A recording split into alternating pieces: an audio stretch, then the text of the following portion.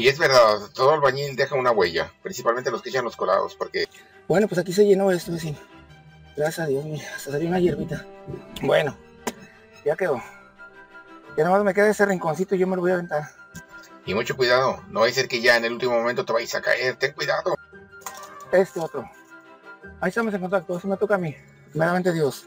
Bueno, pero primero voy a limpiar esos zapatos. Hay que quitar todo esto, observemos. Este también es grasa, el oso. Ya llegó el bolero, hasta un lado, llegó el bolero. Una lija, y aquí está el bolero de Raquel. Aquí está la lija y el bolero de Raquel. Dice, no, amigo, este apenas es el inicio, mira, aquí está el carpintero para que digan que, que no hay un gran supervisor. Oh, Miren cómo quedaron. Botas, ajá. Se siente bien cómodo, muchachos. Se los recomiendo. Perfectos y hermosos. Pero no nos hagan los tarugos, diría la chimotrufia. Vamos a ver cómo quedó ese colado, porque vamos a ver cómo bailas, pero arriba del colado. Bueno, pues ya quedó colado esto, gracias a Dios. Fue una cosa pero terrible. Pero queda uno muy satisfecho porque gracias a Dios que nos permitió que vinieran tres personas a ayudarnos. Aquí quedó terminado, muchachos, gracias a Dios. En unas dos horas le vamos a dar la fina. La finísima. Ahí está terminado, pero falta lo bueno. La fina y la finísima, como dices, algo. Hay que tratar de evitar que se vaya a cuartear, que se vaya a filtrar el agua. Los maestros nos dirán, ¿qué hay que hacer? Tenemos que explicarles el por qué se tiene que hacer esto a esta hora. Porque al otro día ya no agarraría, ¿eh? Y lo único que Luciño ha comprobado que al otro día, sinceramente, ya no agarra. Lo que le echen, ya no lo agarró. Ni aunque le echen sellador o lo que le pongan, que piso sobre piso y que no sé qué tantas cosas, ya no, porque se empieza a despegar. El vecino ya le ayudó, él ya se va. Ahí te quedas, vecino.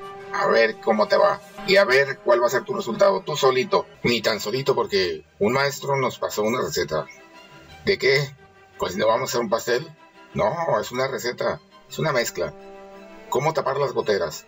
Esto es infalible. Realmente sí resulta y lo vamos a ver.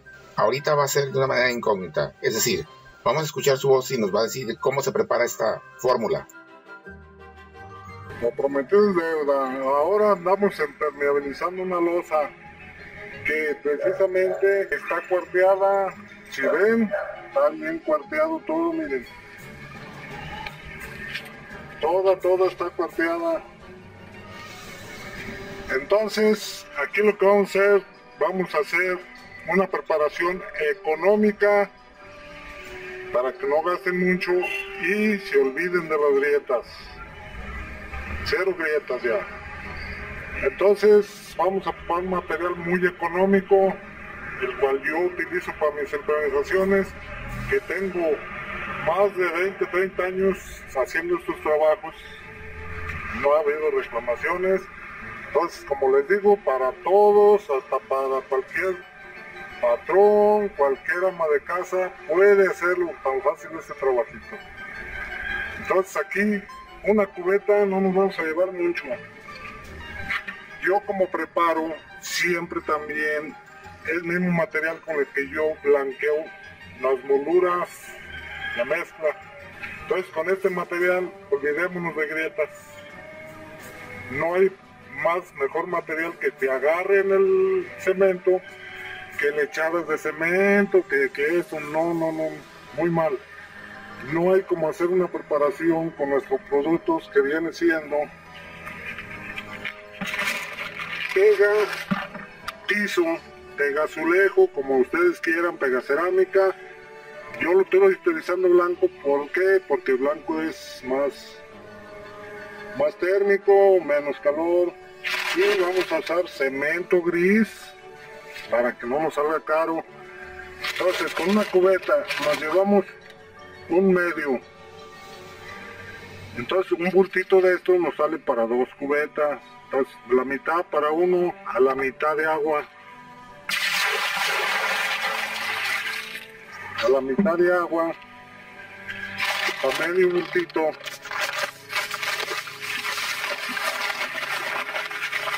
Bien práctico y económico. Esto nos rinde una cubeta casi para los 18 metros. Y nos, nos gastaríamos alrededor de, pues a lo mejor unos 150, 200 pesos por cubetita. Que vamos a echarle la mitad. echamos unos dos puños de cemento, hasta tres, no le hace, quedaría mejor. Que viene siendo alrededor de algunos un kilo, dos kilos. Todo esto nos da la consistencia. Y vamos a usar sellador, sea sellador o u resina, como ustedes se les presente. Vamos a batir bien bien nuestra mezcla. Estas son las mejores impermeabilizadas que pueden ustedes hacer para que se olviden de grietas. Ya ven que por los impermeabilizantes a veces duran, que duran que pues dos años, tres años, cuatro años y se acaba el material entonces a lo mejor con este material posiblemente ya no va a haber grietas casi en mayor parte de 2-3 años. En caso de que sí se les presente alguna grietita o algo, pues ya pueden usar el impermeabilizante, pero pues igual el impermeabilizante le da mucha fuerza y hasta el impermeabilizante de 3 años les duraría hasta 10, 15 años encima de este material.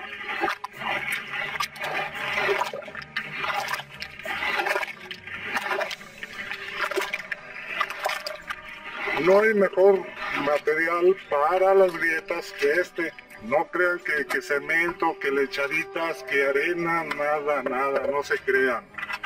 Se les vuelven a hacer las grietas y hasta el cemento se le va. Muchos no me dejarán mentir que hacen una revoltura de cementos, se les levanta. Entonces necesitamos una preparación justa. Le puedo echar dos litros de sellador dos litritos, este por hecho la mitad porque echamos cuatro. Pero son dos litros por cubetita. Entonces, aquí le estoy diciendo, en esta preparación no nos gastaremos más que unos 150 a 200 pesos. Continúe maestro, porque nos interesa mucho les digo, pues este material, pues está también para, lo utilizo yo en las molduras, si ustedes ven, es lo mismo, nomás que pues, en las molduras lo utilizo espeso. Pero aquí como queremos tapar grietas, vamos a usar este material más flojito. No para las molduras, yo lo hago espeso para que se preste y se fine y si ven cuántos años duran las molduras en las calles, no se caen. Batemos bien, bien, bien, que nos quede bien, precisamente bien, bien aguadito. Ya que nos quede bien batidito, batidito. Muchas gracias maestro, pero ¿qué tal si ya tiene impermeabilizante? ¿Qué tal si ya tiene una capa y entonces tal vez no agarre? Bueno, usted puede saber con la experiencia que tiene si después de estar impermeabilizado puede echar esta mezcla o ya no se puede echar? Explíquenos. Cuando ya está impermeabilizado, no se los recomiendo ahí, ahí si no le echen este producto, porque la impermeabilización ya no nos va a agarrar nada de otros productos más que el que hay que hacer especialmente, o volver a impermeabilizar es lo que se haría en dado caso, ¿verdad? Muy bien, maestro. Este es cuando ya está seco, pero en este caso todavía está húmedo. Está recién hecho. Así que en este caso le estamos echando otro producto muy parecido al suyo, que posteriormente les vamos a indicar en toda la demás parte de este techo que ya está seco, cómo hizo usted esta mezcla y la vamos a hacer aquí, reproduciendo fielmente todos los pasos que usted nos ha dado. Por lo pronto síganos diciendo, maestro, para tenerlos presente, con un poco de anticipación. Entonces, como ven, aquí ya está humedecido porque ayer llovió. Y para eso mucho mejor para nuestro producto. Si llovió, si está húmedo, mucho mejor. Si en caso de que no, no les haya llovido y ustedes la quieren aplicar si es necesario echarle una agüita con sellador y quedaría mucho todavía mejor que una agüita para que lo, lo humedezcan. Ahorita yo ya está humedecido, este plafón ya, ya se humedeció. Entonces, ahorita estamos en lluvia. Con este material, nomás con que no vaya a llover el día de que lo apliquen y el siguiente día. Bueno, el siguiente día a lo mejor sí ya, ya que lo hayan aplicado. Pero, si ven, ya está esa parte toda esa parte estaba igual de agregado. Bueno, maestro, en este caso está fresco y estamos utilizando uno de los cuadritos amarillos, que les decimos así, pues, sin embargo es más o menos como una flotilla. Pero también usted nos dice que se puede utilizar un jalador. A ver, explíquenos. Vamos a usar un jalador como para emboquillar cerámica, emboquillar pisos, como ustedes quieran ver, para que hagan de cuenta que vamos a emboquillar un piso. Miren, tan fácil, tan fácil que es. Lo regamos.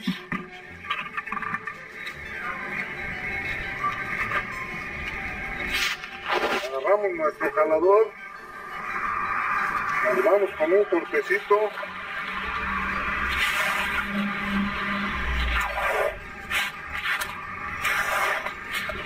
Bueno, maestro, pero aquí vemos que usted lo dejó un poco aguado. Y no ha dicho que está muy bien aguado, pero ¿qué tal si las grietas están un poco más gruesas, más abiertas? ¿Qué se puede hacer para taparlas muy bien? Porque recuerde que usted nos dijo que también se podía tapar las grietas más grandes. ¿Nos puede explicar eso, por favor? Cuando hay unas grietas muy grandes, grandes, más grandes que estas, unas grietas grandes. Oh, sí, recordemos que nos dijo que en ese caso lo preparaba un poco más espeso. Qué mala memoria. Bueno, ya sabe cómo es Luisinho, maestro. Siga, por favor. Ay, disculpe la mala memoria. Se prepara más grueso. Es cierto. Nos vamos recorriendo, nos vamos recorriendo. Nos volvemos a regresar para atrás hasta que se nos vaya emparejando. Vamos para atrás de regreso. Y muy importante, les comento, si hay una grieta más grandes, ya muy grandotas, mucho más grandes que estas grietas de veras así grandes. Hagamos el mismo material por espeso y después echamos a esas grietas y ya las demás chiquitas ya sin ningún problema, pero si están muy grandes, estamos hablando a lo mejor ya de un centímetro o un medio de medio centímetro, entonces o hacemos el material, si todas las grietas están muy, lo hacemos más espesito, todo depende de la grieta. Ah, muy bien, maestro. Gracias por recordarlo, porque usted ya conoce la memoria de Luisinho. Siempre se le olvida todo. Usted ya lo conoce. Por lo tanto, nos repitió que se hace más grueso, más espesito. Eso es bien importante, maestro. Al igual, pueden usar la escoba, pero a mí se me hace más práctico este.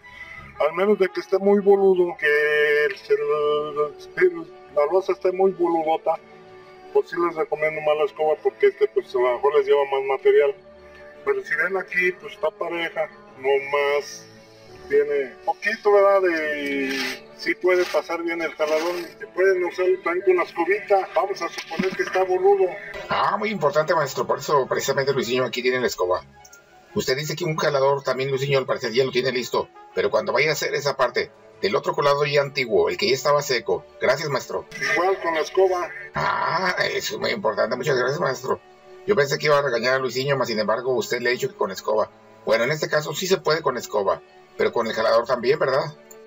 Más que tomen en cuenta que la escoba, como raspa, el problema es que la grieta la vuelve a dejar grieta, o sea, ya se taparía, pero quedaría la sumida de la grieta porque la escoba es lo que hace. Muy bien, ven qué sencillo y fácil es que impermeabilicen con un producto muy barato veces antes porque esos salen muy caritos y con esto les quedaría mucho, muy, todo perfectamente bien. Ya, si checan, aquí ya les dimos, ya las grietas se perdieron. Ya no hay grietas. Bien, maestro, muchas gracias. Así lo haremos en el otro techo, el que está más antiguo. Ahí está, miren, se cierra muy bonito, miren. Y este es tipo escoba, como les digo, aquí también se le puede dar una pasada con la escoba. Como ustedes quieran, después una escoba, como les gusta, en la terminación. Como ven, ya se terminaron las grietas. Ahora, después, dos, tres años, para que les duren 20 años más, pueden darle una impermeabilizada y precisamente como una pintada y les aguantaría años. Pero no tiene caso con esto ya. Con esto ya quedaría perfectamente bien. Al menos de que se les encharque el agua, pues ahí sí les recomiendo levantarles, ¿verdad? Porque para la impermeabilizada. Espero les guste, les siga gustando y vamos a seguir subiendo con los interesantes videos de todo, muchas cosas, como hay que... Bueno, maestro, pues muchas gracias y disculpe usted la interrupción tan abrupta, pero no es interrupción, maestro. Lo que pasa es que Luisinho acá está haciendo este trabajo que realmente está muy fresco. Este techo sí está fresco y esta mezcla también que usted le dio a Luciño también la está aplicando aquí. Ahorita no les explicó porque estaba haciendo un viento terrible y no se puede escuchar. Además, la otra cámara que tiene micrófono está prácticamente sin pila. Y bueno, aparte, solamente se va a hacer la mitad porque esta parte de abajo siempre estaba demasiado fresca y no se pudo parar arriba. Así que maestro, con su permiso, nos vamos a tener que ir en la noche. Mire nada más. Mire maestro, a Luciño ya se le estaba cayendo esta lona. Y creo que ahí tenía que hacer otro techo. Un techo así como de lámina. Una estructura de madera más. Ahí usted si puede, puede ser un consejo, porque ya sabe que Luciño es un poco taquillo y más que nada la inexperiencia. Más que la terquedad es inexperto. Y usted, maestro, le ha ayudado bastante. Muchas gracias, maestro. Vamos a ver cómo le hace Luciño. Listo, muchachos. Híjole. Le hice lo que se pudo. Ahí estamos en contacto, gracias a Dios. Se fue el sol. Se fue. Bueno. Sí, se fue Luciño, pero tú estás acostumbrado a trabajar en la noche. La noche es muy larga. A ver, vamos a ver. Probando en la oscuridad, probando. Bueno, ya está probado el sonido. Ahora sí, se escucha. No se ve nada, pero no estoy seguro si haya por acá algún foco. Voy a pisar aquí, son las 10 de la noche. Pero lo que tenemos que hacer, pero rápido. Están cayendo algunas gotas que le sirve al techo, pero le tenemos que echar otra barrida allá abajo que no le hemos echado. Agua. Está cayendo agua. Escoba Aquí la tenemos. Así que vamos a echarle agua con la manguera y la vamos a tallar con el famoso cuadrito amarillo. Ya se ve. Ya se ve que la, nada más faltaba esta parte de aquí abajo. ahí se ve, diría el maestro genio roñosa. Aquí tenemos los guantes. Hay que ponérnoslos porque sin guantes las manos hacen más feas de las que las tiene uno. Aquí está uno y acá está el otro. Bueno, a ver, manguera. Posiblemente llegue. Vamos a ver. La fuerza del chorro. Si llega. hasta aquí habíamos tallado ya, miren. Ahí se ve de aquí lo que faltó. Exactamente, cuando el maestro te estaba explicando, ahí todavía estaba muy flojo y no podías pararte porque se hundía. Porque estaba débil. Ahorita parecer que ya puedo pisar aquí. Nada más era esa partecita la que faltaba. Y aquí están las, huellas del muchachón. Y sí están las huellas. No negarlo. Hasta aquí. Hasta aquí estaba planeado. Y es cierto que todas las cosas presentan algún tipo de fractura. Nos han dicho los grandes maestros. Y ellos ya tienen experiencia en la vida. Dicen que por eso los impermeabilizantes es el producto más vendido en el mercado. No solamente de México, sino de todo el mundo. Por lo tanto, Luisinho, ¿tú qué opinas? Bueno, según tu experiencia, ¿por qué según tú se utilizan los impermeabilizantes? A ver.